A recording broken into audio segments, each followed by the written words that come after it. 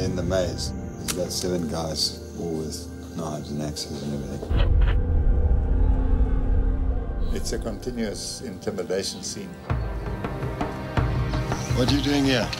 I'm here for my land that you take it. Mugabe is a complete dictator. Nobody stands against him. This is my home. It is your home. Well, you're in the wrong home.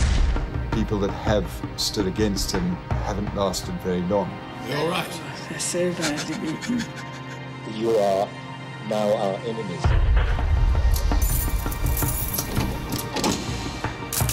Mike Campbell is about to take on a man who has brought death to thousands. Drive! Drive! All that it needs for evil to flourish is to do nothing. Justice will catch up with you. If you want to come and steal, if you want to come and destroy. I think we have been put here for a purpose, The land belongs to us. and we must carry out that purpose for which we were put here. But we're running out of time. I will sleep here until you are out. And I mean it. I want you out